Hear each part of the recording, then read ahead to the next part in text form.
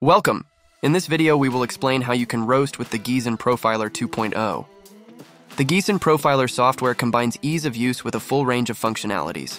Whether you're looking to control your roaster, implement automations, or fine-tune a roasting profile, it has you covered.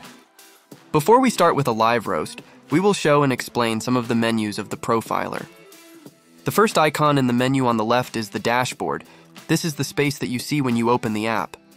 We will explain more about the dashboard later in the video while roasting. Next up is Profiles. This is where you can manage and create profiles for your green coffee beans. In the video, Managing Your Roasting Profiles, we go in depth into all the functions of the Giesen Profiler software regarding making and managing profiles.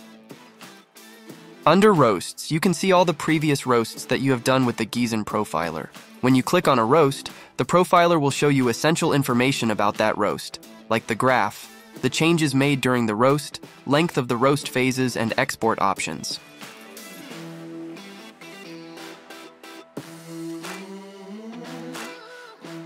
At My Roaster, you have an overview of the connected roaster with all the possible actions and you can see the errors and settings of the roaster. For example, you can click on the stirrer to turn it on or off. If you own a GCC or D-Stoner and have it connected to your roaster, you can use the equipment through these menus. In the Giesen Profiler, you can change the settings of the app by clicking on the cog icon in the bottom left corner. In the video setting up the profiler, we go in depth about the settings. When you click on the support button, you will be automatically redirected to the Help Center. Here you can read articles about the Giesen Profiler and contact our support department. Now we will go back to the dashboard and show you the Giesen Profiler in action.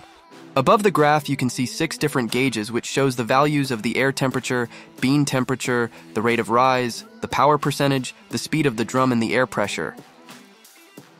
On the right, you can see a taskbar with two icons to open quick access, to roaster controls, roasting equipment, and the legend for the graph.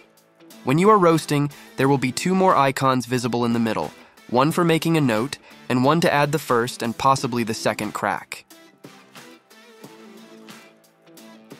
You can start a roast through your roasting device or click record in the profiler at the bottom of the screen. If you click on the chevron next to record, you can add a delay, and if you have an automated roaster, you can change the amount of time the intake is opened. During the roast, we use the split chart to split the power, drum, speed, and air pressure to the bottom graph for a clearer overview.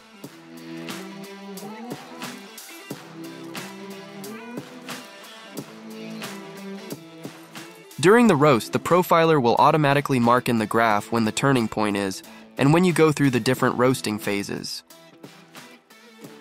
When you click on the gauges at the top of the screen, a window pops up where you can add or retract the value in steps, turn it on or off, and put it on automated. With the new update, the Giesen profiler will show the expected bean temperature two minutes ahead of time based on the rate of rise for extra roasting insight. Now we will let the roast simulation play out. During roasting, you can always change the values by clicking on the top gauges.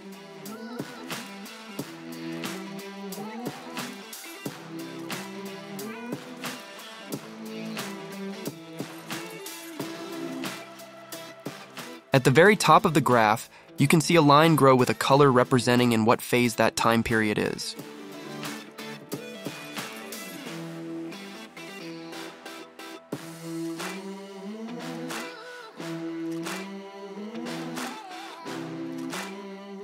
When the roast is finished and you click stop, a window on the right opens. Here you can see and add information about the roast. At the bottom of the window, you can either save the roast as a roasting profile or discard it. When you save the roast as a profile, you can reuse the settings of the roast. Now we will show what changes there are when you roast with a profile loaded in. Here you see a roast simulation with a roast profile loaded in. In the bottom left corner, you will see the name of the loaded roasting profile and the total length of the profile below it. In the graph, you will see the graph of the profile in lower opacity as a reference for the current roast. The markings of the roasting profile will have a P at the start. Additionally, we want to show that you can pin the right side bar to the dashboard. This way, you can have the roaster controls and other functions always at the ready. when a roast is finished with a profile loaded in. It will be automatically saved under roast linked to the profile. Thank you for watching this video on how to roast with the Giesen Profiler. We hope this video has given you a clear idea of what the Giesen Profiler 2.0 can do. If you have any questions, feel free to reach out to us on our website or through our social media channels.